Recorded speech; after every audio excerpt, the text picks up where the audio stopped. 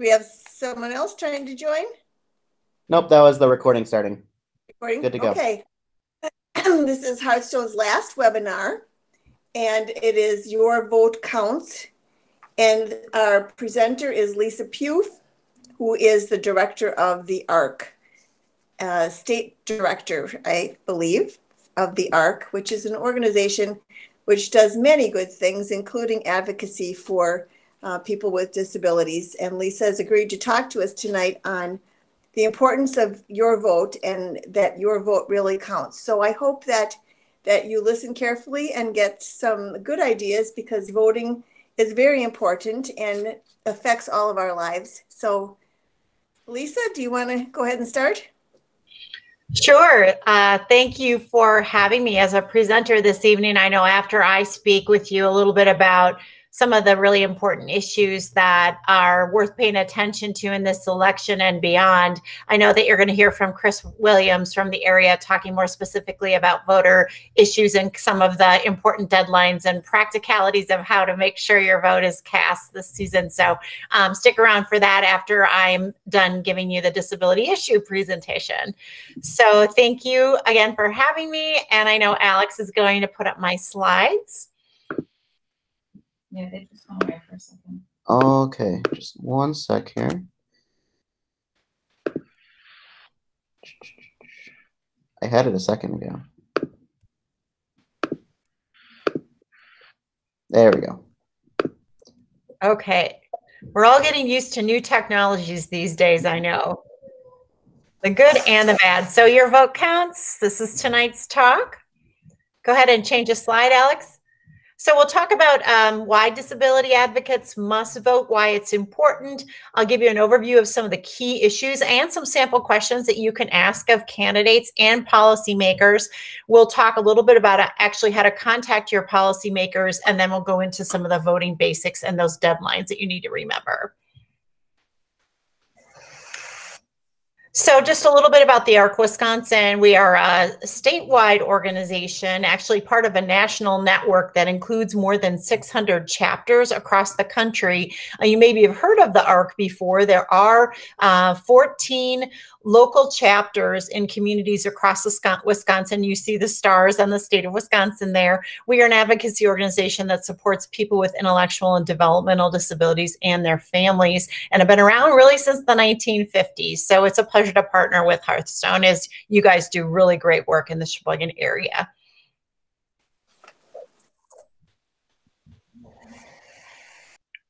So I wanted to share with you some voting resources that I'll be um, talking about tonight. And I was able to partner with the Wisconsin Disability Vote Coalition, and I'll be sharing some of their resources tonight. And I certainly urge you to check out Disability Vote Coalition's website, where you'll find a lot more specific information on voting for people with disabilities. Next slide. So why does it matter that uh, people from the disability, people with disabilities vote? Um, elected officials do make a lot of decisions that are very important to people with disabilities. Um, everything from the funding for the supports that people with disabilities receive, workers that might come into your home or support you on a job, or um, a place that you might go during the day to receive services all of those services are typically funded through government resources, whether it be from the state of the Wisconsin or um, through the federal government. So those decisions are made by elected officials. And elected officials really need to know that we care and are paying attention to what's happening in elections. Um, our vote is like money, it's like currency. We're showing uh, where we want to invest our money, where we want to invest our vote. And elected officials can look up voting records to see who is voting. They can't tell who you voted for, but they sure can see who votes. And it's really important for them to see people with disabilities and family members engaged on the issues in voting. Um, really, the way um, it, you do have an opportunity to educate and help to change an elected official's mind and to really help them to better understand disability issues. And I really like this fact at the end of the slide. If people with disabilities voted at the same rate as people without disabilities, there'd be 2 million more votes. So we really are an underrepresented group, and it's so important to try to get more people with disabilities out to the polls this fall. Next slide.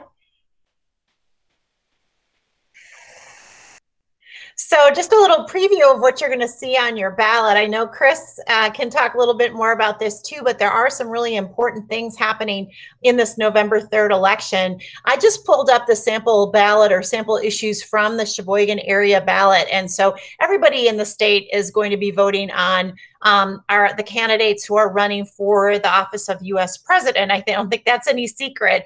But you in the Sheboygan area also have a congressional representative on your ballot. Um, so you'll see those two names um, uh, for that office. And then also, depending on where you live, you might have a state senator and or different names for assembly representatives. So I think I pulled up something from Sheboygan Falls. And so you have two names there, but you do have um, a state senator who is running as well in in some of the districts that cover Sheboygan County. So these are people both again in Washington and in Madison who make really important decisions about programs like Family Care and Iris, um, programs like the Children's Long-Term Support System waiver system and the Katie Beckett waiver. So they're very important um, they're very important issues that will be in front of these elected officials. So um, make sure that you, you know what your ballot looks like for November 3rd. Next slide. So I know Kris is going to go over with this in more detail, but it can't hurt to review it uh, uh, several times in this presentation. Um, uh, voter registration. Uh, today, I think, is the last day to um, register online. Kris is nodding mm-hmm. her head, uh, but you can do in person at your clerk's office through Friday, uh, October 30th, and then in person at the polling place on election day. Um, of course, there's certain requirements to that in terms of bringing a photo ID and, and other sorts of information, but those are the deadlines early voting, which is the early voting or in-person absentee voting. Um, and I know Kris is going over the locations and times for that. And then absentee, the uh, deadlines to request absentee ballot for regular voters, October 29th. And then there is something called an indefinitely confined voter. Um, generally, people who just can't get out of their house uh, for most of the time. There's a pretty tight definition on that, but that deadline is October 30th. Next slide. So, some key federal issues, things that are just happening in Washington right now that disability advocates are paying attention to. So, you might have heard on the news the back and forth between the House of Representatives and the US Senate around COVID relief. Um, early on in the pandemic, there was um, the CARES Act pass it, passed that went to states and provided significant amounts of funding. Wisconsin is dispersing CARES Act funding right now. I just got a message today about um, new payments to providers in the family care and IRIS system, uh, so adult long term support system that came through the CARES Act. That money has to be spent by the end of the year. Um, small businesses also got a boost in that package. A lot of that money is either gone or will be gone shortly. And there is a great sense, and states are asking for additional federal funding. But unfortunately, our friends in Washington can't seem to reach agreement. That is no surprise. Um, but the House of Representatives has passed. Um, a couple of bills, and most recently, they uh, just several weeks ago, they passed a trimmed down COVID relief package, trying to find agreement with the um, U.S. Senate. And we really like what's in that bill. It um, includes additional and dedicated funding for Medicaid home and community based services. When I say home and community based services, I really am talking about funding for programs like Family Care and Iris, funding for providers in Sheboygan County like RCS um, and other um, people who provide in-home supports for you would generally be receiving funding through home and community-based services and those providers are really in need of help and support. Um, they have a lot of extra expenses due to the COVID pandemic or they might have reduced revenues because people aren't coming in to use their services in the same way. So this is a lot of people say it's desperately needed. We're very glad that the House included funding for home and community-based services. They also include additional matching funding in the general Medicaid program. So you reference in my slide here, federal Medicaid medical assistance percentage. That's called the FMAP. It's the federal match So every time a state spends a dollar on Medicaid programs, which could be Badger Care, Katie Beckett, it could be uh, Medicaid dollars spent in family care or IRIS programs. The federal government matches that at about 60%. Well, this bill would raise that percentage of match to help states out more. Um, we think this is going to be incredibly important, uh, particularly as state revenues are down and states are in really difficult situations with their, they'll be in very difficult situations with their state budgets, as will Wisconsin. But you see here in, in yellow um, that uh, we don't have agreement with the Senate. We don't know what's going to happen with the COVID relief bill. Uh, uh, many people think it should have already happened, but I'm not sure if it'll happen until after the election. But um, anyway, something definitely to watch that impacts people with disabilities. Of course, in the news right now is the Supreme Court nomination process. Um, there are several key cases that will be be before the Supreme Court that will impact people with disabilities. A lot of people are very concerned about what will happen with the Affordable Care Act, particularly as it relates to pre-existing conditions. Um, people with disabilities inherently have pre-existing conditions. Not all people are, have access to Medicaid and programs uh, like family care and IRIS, and without protections for pre-existing conditions, it's really, really hard for people to afford the premiums and the drug costs to maintain their health. Um, so that is that is a concern um, in terms of what cases the Supreme Court will take up shortly after the election. Next slide.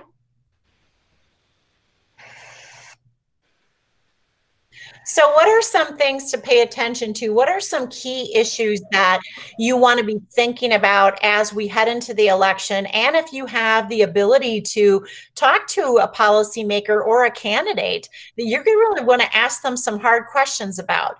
So, I've been talking about the adult long term care system and the Medicaid system because uh, I know that's really important to Hearthstone members. So, in Sheboygan County, I just pulled some current data for you guys. Um, there are are uh, close to a thousand people who use the family care program and about uh, almost 300 people who use the iris program you've got about 130 children who are receiving long-term services and supports those are children with significant disabilities um, 1600 who the state says are receiving SSI, supplemental security income, and therefore accessing Medicaid through SSI. Those are generally people with disabilities. And then there's about 558 people who use the MAPP program, um, which is a Medicaid buy-in program that helps people to work but maintain their Medicaid. Again, these are generally the numbers of who are people with disabilities who use uh, Medicaid programming. A lot of the other people you see there's total Medicaid enrollment in Sheboygan County of almost 20,000 people. Um, a lot of those people are children. So those are those are people who are probably eligible for um, Medicaid because of low income. And there are a lot of children in the Medicaid program who receive just basic health care. Um, the concern here uh, for people with disabilities is that there is a lack of direct care workers. We don't have enough people who are able to um, who providers can hire to support people with disabilities, either as personal care workers or perhaps job coaches, um, people who work at day services and other facilities, maybe somebody who comes into your home, helps you with grocery shopping. We just don't have enough people doing that work. Um, and that's in part related to the rates. Um, there hasn't been any significant rate increases in the family care IRIS program in many years. Um, and that's because uh, we haven't had significant new funding put into those programs by the state legislature. Um, so a lot of times what that means is that people are eligible for these programs. They might um, be be told that they should get more hours of care, but they can't find workers to um, to provide the care. So what then the repercussions of that is that sometimes people are forced into nursing homes or other really expensive facilities, and that ends up costing the state a lot of money. Um, so that definitely is a concern that we've probably always had, but that has just gotten worse um, over the last several years. So next slide. So this is some new data that I wanted to share with you. This data actually isn't public, so you're getting some exclusive information here. It should be public soon. Um, the Department of Health Services has been tracking the impact of COVID-19 on um, adults with disabilities. So the numbers that you're seeing on the screen are the number of deaths specifically from COVID-19 within the Family Care and IRIS program. So you see 250 deaths, and then it's, I think it's interesting to look at the percent of COVID 19 cases within these programs that are resulting in people dying. Um, you see that's 12%. When you compare that to state, the statewide numbers, um, one just one percent of people who contract COVID nineteen um, end up uh, dying from it. So we know that our population is extremely vulnerable. When you look over at hospitalizations, kind of the same concern is that you're seeing that the number of or the percentage of COVID 19 cases in the family care and IRIS programs that end up in hospitalizations 36.8% compared to just uh, about 6% in the state. So this is a very vulnerable population and we're glad that the state is collecting this data and we'd hope it becomes public soon, which they keep saying it will. I'm hoping for next week and I can let you know. But this is the sort of data that would be important to share with a policymaker to make them aware of how critical these programs are and how important it is to get them additional funding so they can keep people safe. Um, they have they very vulnerable health conditions, and without enough workers and without enough um, personal protective equipment, these people can get very sick very quickly. Next slide. So another key issue, and I've really just been pretty much mentioning it all along, is the direct care workforce shortage. You're going to talk to any provider in the Sheboygan County area, they're going to tell you that this is a huge problem. So, and it's and it's only going to get worse. In 2019, Wisconsin had about 72,000 direct care workers. And when I say direct care worker, this could be somebody who is helping people get out of bed in the morning, helping them with their meals, helping them get dressed, helping them get to work, uh, providing job coaching support, somebody who helps them at a day services center or perhaps at a um, at a at a in a group home or at a sheltered workshop. Those are all in the bucket of a direct care worker. Um, in 2026, the the economy estimates will need 90,000 93,000 workers, so that's not that far away. Part of this is because um, Wisconsin's aging at a pretty rapid rate. And so a lot of older adults are going to be in need of care, um, and that's only going to increase. And we just don't have enough people to provide the care. Um, and part of it is, you know, it's not that great of a job. These workers make an average of $10 an hour. They often can't afford health insurance, but so here they're still doing, you know, pretty high risk work. They can't social distance when they're providing direct cares to someone. And yet, and um, in a lot of cases, they aren't, they don't have access to the same um, personal protective equipment or PPE that's being supplied in nursing homes and hospitals and then they make $10 an hour and they can't afford their health insurance. So it really is um, a precarious situation for these workers. Um, a lot of providers reporting um, vacancies and increasing in vacancies. And um, again, this is a significant issue for people who live in those places because um, they, they might not be getting out of bed or getting a bath. I mean, that's the day to day struggle with this shortage. Next slide. So family caregivers then often pick up the burden when um, there aren't enough direct care workers. So AARP estimates there's more than 580,000 family caregivers in Wisconsin. So those are family caregivers for older adults and people with disabilities generally. Um, and so these family caregivers are filling in the gaps. They often are using their own personal resources um, to provide care. They take time off of work. Sometimes they reduce their work hours or quit their jobs. This is just not sustainable to rely on families to provide this care. Um, in the intellectual developmental disabilities world, about 75% of adults in Wisconsin live at home with their parents, and more than a quarter of those people are living with a caregiver over age 60. So, as you can imagine, these older caregivers are also starting to experience health concerns of their own. And it's going to re- continue to be really unsustainable for an elderly mom and dad to provide care to an adult son or daughter with IDD without any sort of break or any um, direct care worker to help them out. I share on here a picture of what is the front cover of the caregiver, the governor's task force on caregiving recommendations. Um, I'm a co-chair of the governor's task force on caregiving. Governor Evers last year established the governor's task force on caregiving to address the issues that I just talked about these family caregiver issues, the direct care workforce issues. And he said, Bring me some solutions. So we sat in a room uh, for over a year, about 30 of us that were appointed by the governor. And at the table were, you know, nursing home providers, adult family home providers, personal care providers, family caregivers, people with disabilities, um, older adult caregivers, and we came up with about 16 proposals that are included in this report. And I know I sent the slides to Alex, and he'll be sending them out so you'll have access to the link. But I really urge you to look at this report and find the things in there that you think will help people in your community. And as I said earlier, I'm going to tell you some things that I hope you will do with your policymakers and candidates. But one of them for sure is sharing either this whole report or parts of this report that you think can really make a difference. Because right now, it's just a report, it's just words on a piece of paper. And um, without policymakers dis, um, championing it and implementing it and putting funding behind it, it's not going to um, go anywhere. So next slide.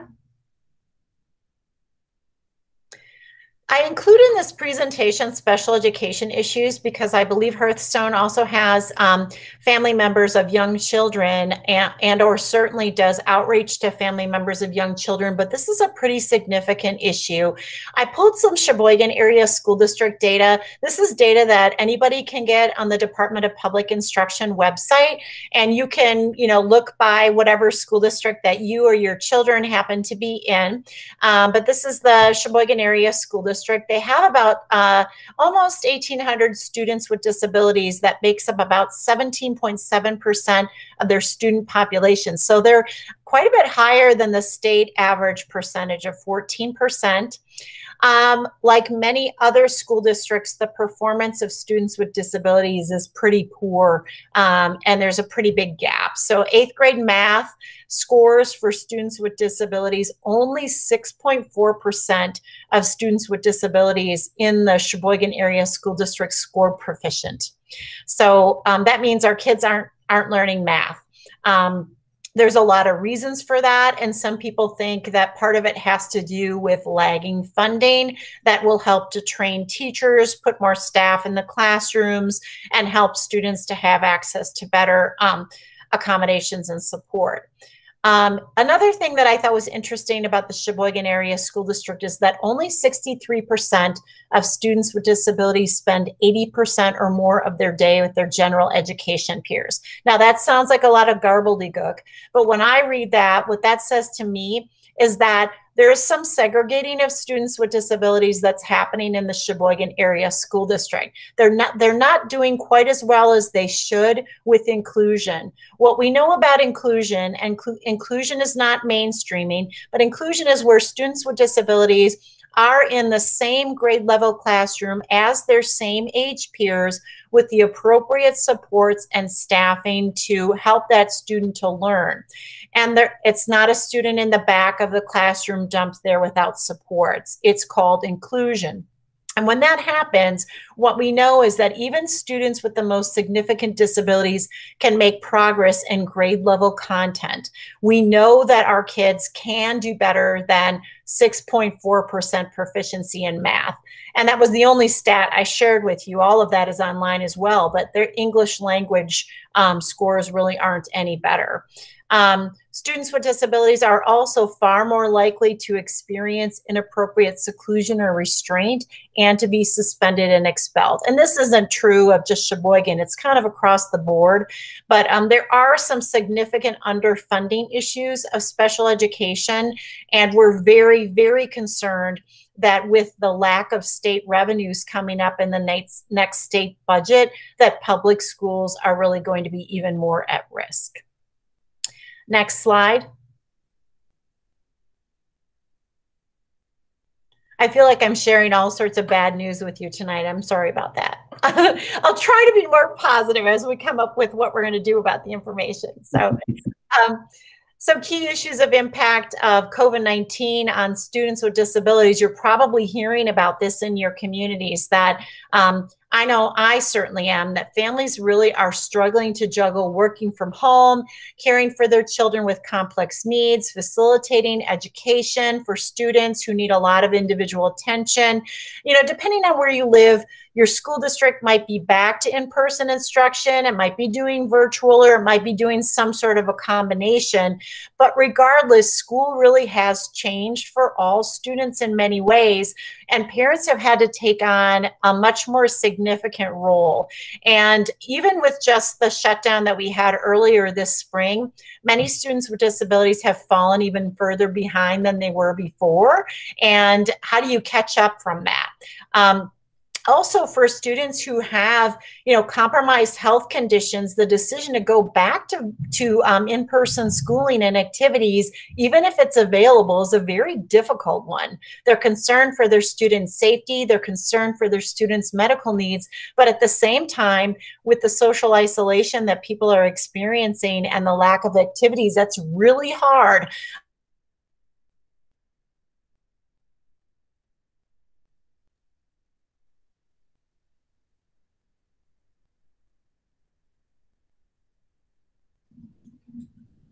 We might have lost Lisa. Oh no. Oh, there we go. You're Oh, back, Lisa. Back. Oh, I warned you about that, didn't I? Um, so students, um, students do have different and and generally more needs uh, related to the pandemic, and we really still don't know how schools are going going to be able to address that. Next slide. Okay, so here's where I get to what you know i always like to give people the what do you what are we going to do about it? part because i feel like you know it's one thing to know what the problems are and to be able to have a good conversation with somebody about all the things that are wrong but then we then it's important to think about what is your role in the situation and how can you take steps to maybe make something better. And so i um like to remind people that both candidates and all elected officials, people who aren't on the ballot, they work for you and uh, they want to your, your vote and they should be earning your vote. So it's important to be asking them um, these important questions about disability issues. So I give you some sample questions on this slide. They're pretty simple. You know, based upon what I just told you about key issues, you might ask a candidate, um, how will you ensure that people with disabilities and older adults can continue to live and work in their communities and stay out of expensive uh, Medicaid funded institutions and nursing homes? Um, what steps will you take to address the community based direct care workforce crisis so that people have access to personal care and home health workers? What will you do to ensure our neighborhood public schools have the resources to improve outcomes for students with disabilities so they are college and career ready and do not fall further behind? And then, like I mentioned, you know, ask your policymaker to support the governor's task force on caregiving recommendations. Again, any one of those could be um, something that you share um, with policymakers. So, next slide. So here's here's my ideas. You could you could copy and paste or retype any of those questions. Go go find a candidate's um, Facebook page. Go find your legislator's Facebook page. Post a question on there. Write a letter to the editor. Ask a question at a candidate forum. I don't know if there are any um, candidate forums or virtual town halls happening in your area. I know Congressman Grothman often has um, virtual town halls, um, but it's possible some of the other candidates in your area might be um, hosting forums or, or town halls virtually. Um, you can always invite a candidate to come into a meeting if you have a Hearthstone meeting um, that you're doing by Zoom or some other way. Why not invite a candidate to share their views on disability issues, share questions ahead of time? Um, but I, I like the simple um, idea of posting on Facebook pages, or if you're into Twitter, um, oftentimes just tweeting at somebody, finding their Twitter handle is a really good way to get their attention. I also like, you see on the left-hand side, um, the the uh, website that I put up there, wisconsinvote.org, and then this this um, forward slash candidates races. Um, they they actually make it really easy for you. They will show you all of the candidates um, running in your area and then link directly to their facebook page their twitter whatever um, whatever social media they have their website so you can figure out how to contact them. You can email them. I did look up before i joined you um, for a sheboygan address and sure enough you know like congressman grothman he has a whole bunch of different ways that you can contact contact him. So that's a great way to go.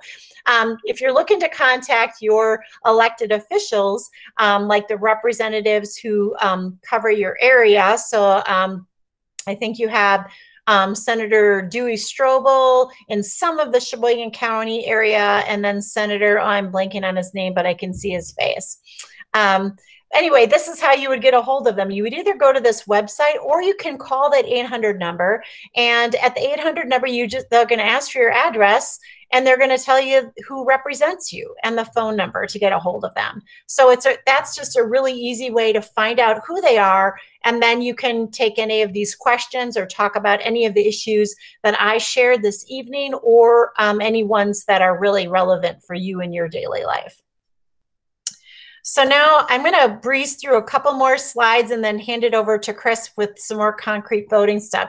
I really like this website um, to kind of help you really um, simplify the voting process. Kris might have other ideas as well, but myvote.wi.gov is a super accessible website. That's where you're going to be able to see, you know, what's on your ballot, um, you're going to see where your polling place is. You can even track your ballot. So, like, just let's say that you um, submitted an absentee ballot or you're going to, this is going to tell you if it was received, uh, when it was received, um, kind of help you to verify that if that's something that is concerning to you. So, um, it, you can't register to vote online anymore. That's expiring today, but um, it's certainly going to give you that sort of information. So this is one of my favorite websites that I think really simplifies the voting stuff.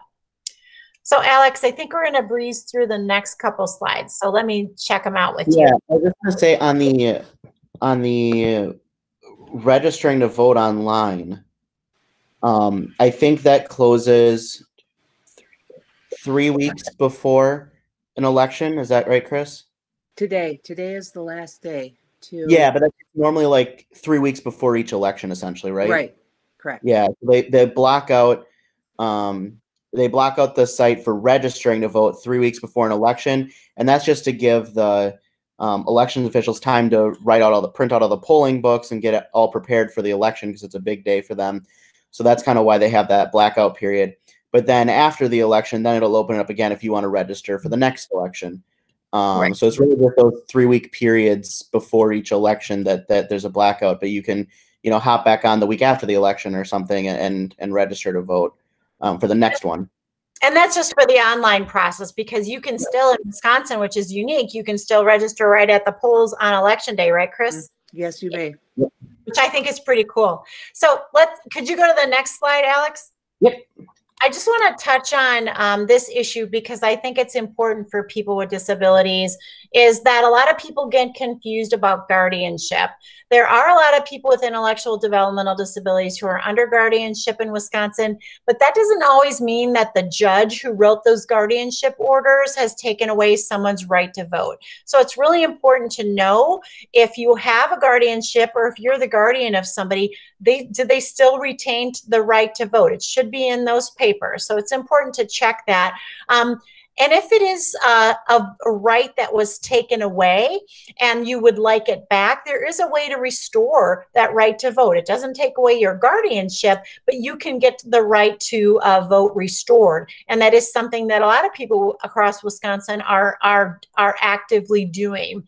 And um, you would contact the Disability Vote Coalition. They have great resources on that, or you can contact me and I can direct you. But it's a really important thing to know. Um, not all people with intellectual developmental disabilities are incapable of understanding the issues and um, being capable of making a voting decision. So uh, it's just something really to keep in mind. So next slide. You can move through the next slide. I know Kris is talking about this next one. Uh, why don't you get me to your rights as a voter, Alex? I'll tell you when to, yeah, right there. So just some parting thoughts from me, I think, are that just things to remember, whether you're a person with a disability or not, you have the right to vote privately and independently. Um, you do not need to have somebody next to you while you're voting. Um, your voting place must be accessible. Um, that is a requirement. There is something called curbside voting, and that's something you can talk to your clerk about. You should probably make a plan for if that's something that you feel you need to use. Um, curbside voting is where somebody comes out to your vehicle to provide the, the um, ballot to you. And so if you can't go in either as a result of your disability or maybe you're having COVID symptoms, but you still want to vote on election day, this is something that you could use. Um, there should be an accessible voting machine at your polling place. And you can also ask for accommodations. So here's some ideas, asking for a chair to sit in rather than standing in line, um, a signature guide because you have to sign the poll book, magnifying glasses are all things that you can request. Next slide.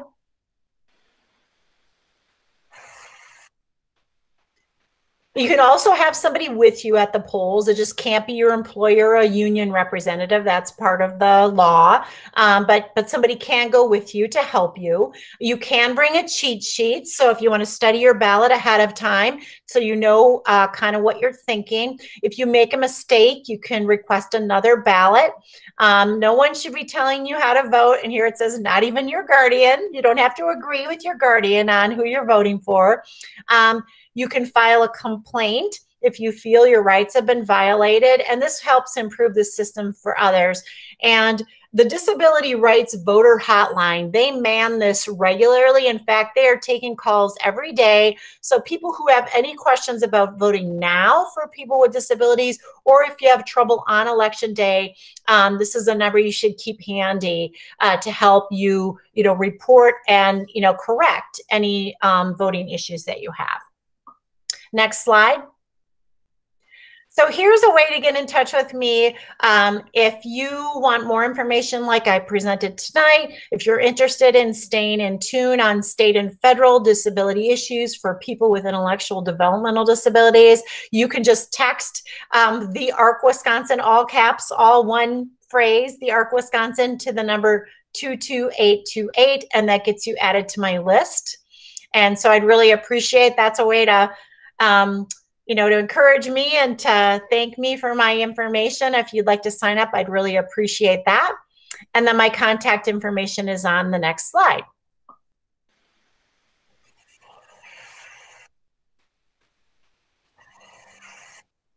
And that's all I have for this evening. So I'd like to turn it over to Kris so she can give you the practicalities of voting in Sheboygan County. Hi, uh, my name is Kris Williams, and I am a poll worker for the city of Sheboygan, and I help out at uh, City Hall around election times. And I'll talk about uh, uh, absentee voting, early voting, and voting on election day in uh, person. And Alex is kindly putting my slides up for me, and you can. Um, when you online uh, absentee voting is is over today, but you are still able to go to your city clerk in your town or city and request um, an absentee ballot. You would just need to take a picture ID, and some kind of proof of residence, which we'll talk about in a moment. Um, after a clerk can help you fill out your request for an absentee ballot if that's needed, or you may bring someone with you that will help you fill it out. Um, and if you do absentee voting, um, once you get the ballot, fill it out, sign it, put it in the envelope that is provided, and make sure you have a witness sign it and include their address. That is very, very, very important. We have to return the ballot to you if there's not a witness and they don't include their address. Um, if you're going to mail it, please make sure you mail it no later than they're suggesting October 28th or 29th to make sure it will be postmarked um, November 3rd. An easier way, probably, to do it would be to drop it off in one of the three drop off boxes that we have in Sheboygan. There is one that is located outside of City Hall on 9th Street. There is one inside of the lobby of City Hall. And there is a- drop off box at the end of the library, Mead Public Library drop off. So you can just drive up in your car, drop it in, and be done with it. As of this point, we've sent out just a little over 8,000 uh, absentee ballots in just the city of Sheboygan, and we've gotten uh, almost 5,200 of them back already. And the Wow. requests, the phone was ringing all day, and people were walking up to the counter all day today when I was there working. Hey, Kris, I have a question for you. Yes. Um, for anyone who isn't in the city of Sheboygan, um, for other municipalities, drop off boxes, um, would they get, d- did you include those in like the absentee packet that the people get? Does it show the locations usually? Or Yes. like would they call their town clerk or? and for example, in the in the town of Sheboygan or the town of Wilson, um, they have their they have a municipal or city clerk that takes care of all of it. Okay, Also, thank you. Uh, Kris, I, was, I heard that some places, and I don't think it's in Wisconsin, there are unofficial drop boxes showing up. And there are drop boxes that's not really co- supposed to be collecting ballots. And Mhm. people put them in there thinking that they're official and that their ballot will be counted, and it, it won't be. Do you know if we have anything like that happening around here? no, we have nothing like that. That is out in California that that is taking place. Okay. So yes, and they're collecting them in churches and and gun shops and different things like that also out there. So luckily, no, we don't have anything like that going. We have zero incidents of fraud here in Sheboygan, which is nice.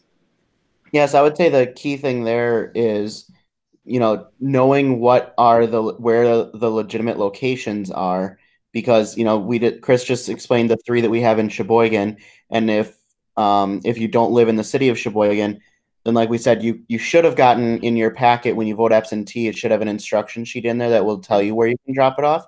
But Mhm. also, you can always call your city or town clerk or village clerk to figure out where you can drop it off. correct. And usually, at a minimum, you can at least take it to the town or village or city hall. Yes, yes. Um, early voting starts next Tuesday, October twentieth, and it will go until Friday, October thirtieth. And that's when you will be able to start actually going into City Hall. Um, and if you are registered, just request, you know, show your picture ID, um, request your ballot. They have carrels set up. You'll be able to vote and drop it right in that City Hall drop box. You can also register during that same time. You can actually register and vote that same day um, at your city hall, municipal hall, whatever, you, wherever you are. Um, and as always, you may have help completing your ballot. There is a line on the ballot that says assister's signature, and that person would sign the ballot. And just say, when we, when we go into the nursing homes and help people vote there, we make sure we sign on that line that we have assisted them. If we have marked it for them or just read it to them, whatever assistance they need, we sign our names that we have helped. Um, if you choose to vote on election day in person, um, voting will be at your polling place from 7 a.m. to 8 p.m. If you are unsure of where your polling place is, you may call your city or municipal clerk and uh, receive the answer to that.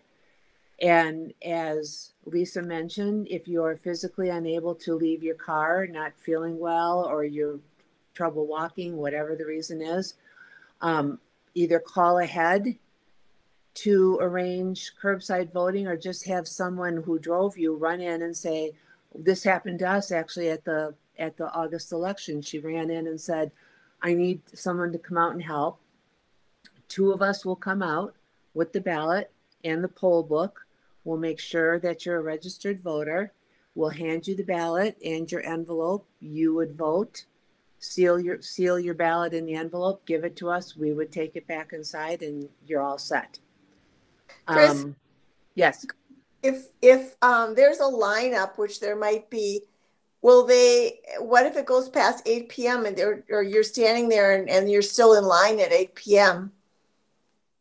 The, the rule in Sheboygan is that at 8 p.m., one of the poll workers goes and stands behind the last person in line at 8 p.m. So even if that line would be two, three blocks long, and then nobody else may join the line after that point, after 8 p.m. But everyone who is in line up until then is considered a good voter for that day. Um, if you are coming in to vote and need help, there are many options. Um, we always have a wheelchair accessible table with a carrel around it that you may, you know, pull up to and, and vote. Uh, the person from your ward will bring over the ballot to you and, and um, help you with it if you need help. There will be a handicap accessible machine and it has uh, headphones and a mouse that goes with it. Um, always, there will always be a poll worker to help you read the ballot if you need it and help you mark it if you need it. And then again, they just sign on that line that they assisted you. Um, anyone other than a boss or a union officer may help you mark your ballot. So your family, your caregiver, a friend, anyone. Um, and they just again will sign that they assisted you. Can we have the next slide, Alex, please? Oh, you have it. Thank you. I should look up. Accessible photo IDs. Um, acceptable ones are, of course, a driver's license or a state ID, um, or the receipt that you have gotten that says your license or ID is coming. Of course, uh, veterans ID is uh, acceptable. And for uh, uh, uniform services, your passport book or your card we will take. It's always interesting when people bring those in and you kind of see the places that they've been traveling. Um, a student ID card plus, you must have an enrollment verification that you actually are a student um, if your if your card has been expired. Um, a tribal ID card is acceptable, and a certificate of naturalization. Those are all acceptable photo IDs. And then for proof of residence, anything that comes from the government is always considered acceptable. Again, your Wisconsin driver li- driver's license or your state ID, a utility bill, a paycheck stub, hunting license, a concealed carry license, a student ID, and the, the fee receipt, um, a bank statement, your affidavit. Sometimes we have homeless people that um, come in to vote, which is certainly their right. And they may come um, with a paper from a shelter that says, so and so lives by the tree in Fountain Park or something like that. That is perfectly acceptable. Um, a residential lease or an IRS check. Any, any of those are good proofs of residence. And if That was anyone has, if anyone has any questions for me, I'm glad to answer.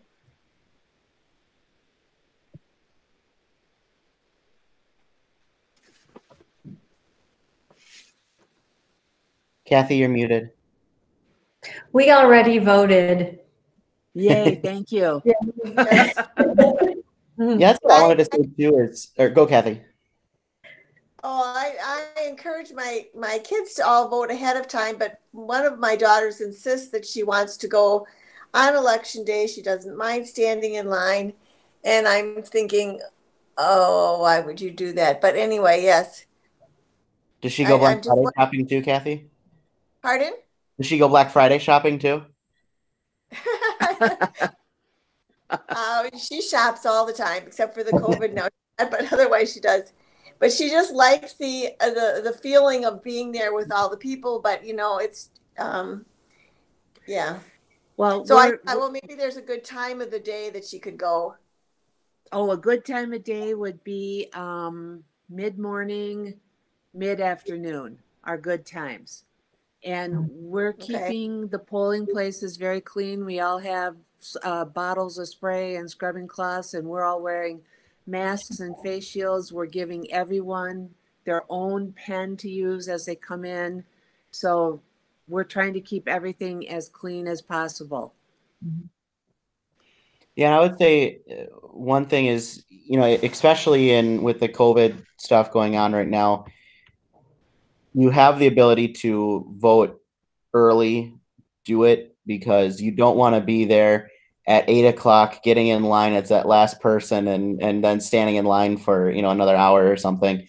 Um, you know, we have the opportunities to vote absentee or vote vote uh, early, so I would just recommend using them just because it allows you to still exercise your right to vote, but not go crazy trying to find your way into the polling places on on Right. uh, November And I'm 3rd. concerned that if people don't feel well on that day, but they haven't voted and they want to, they're going to be very tempted to stand in that line, not feeling Yep. well, Right. so they can vote. That that's our worst nightmare. Yep. That's our la, our worst la, nightmare also. That's why we voted early. This was really informative. Um, I sure hope that the the um, recording worked, Alex, because you know I think this was such good information. I I learned some things that I hadn't learned before. I, I was going to say that my vote um, wi.gov that Lisa mentioned. I love that site, and I always check my ballot, and and then I I send the ballot of all my kids where they are, tell them where their ballot, what their ballot is. And one of the things that that wasn't mentioned that I think is important is that oftentimes there's a referendum on your ballot that takes you by surprise if you don't look at it ahead. You might feel like you're prepared for the candidates, but all of a sudden there's a referendum. And for some reason, they're so confusing to read and understand. So um, that's a good thing to check ahead of time, too. I agree. Mm-hmm.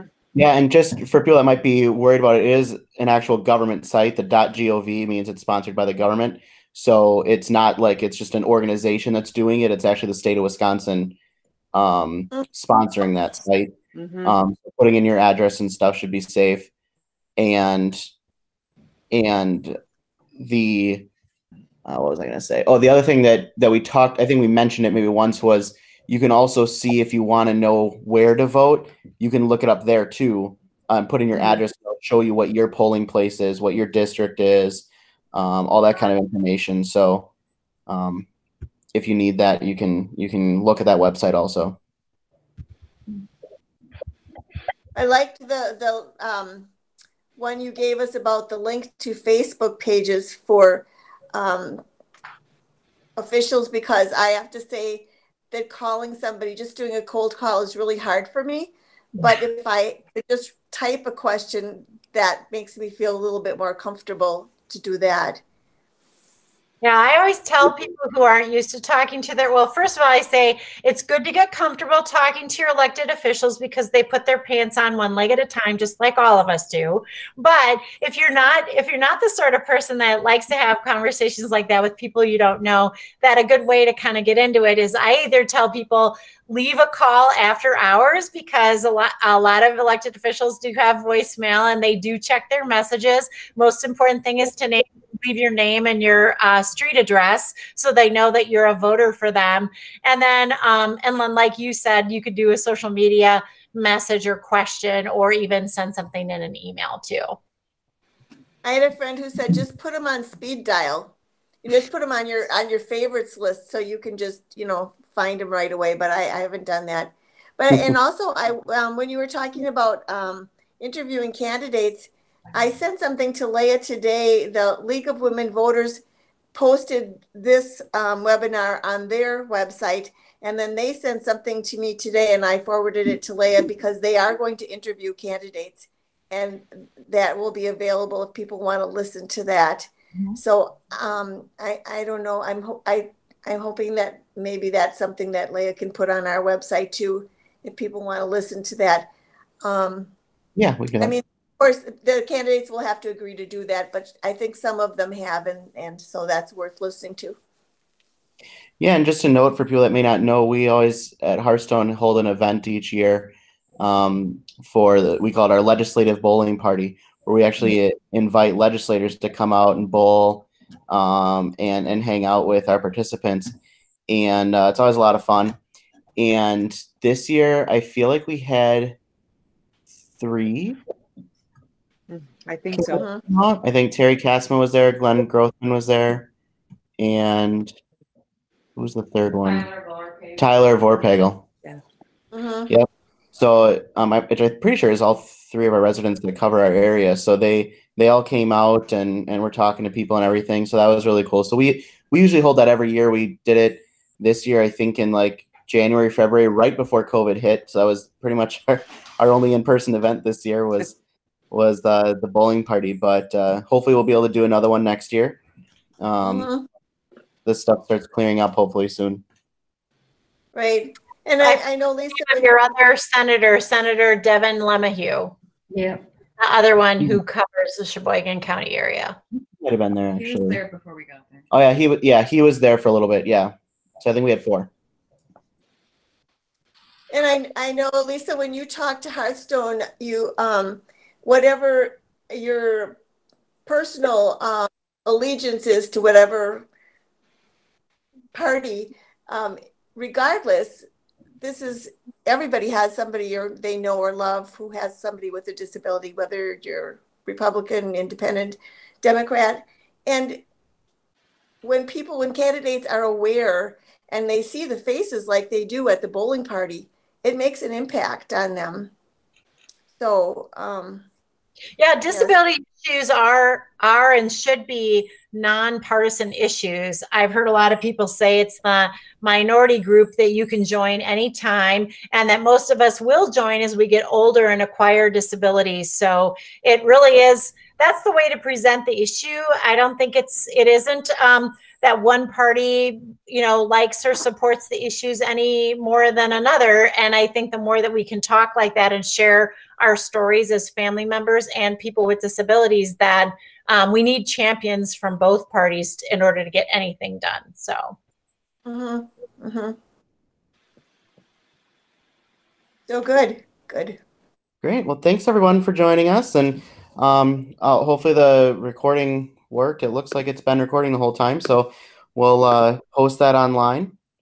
And um,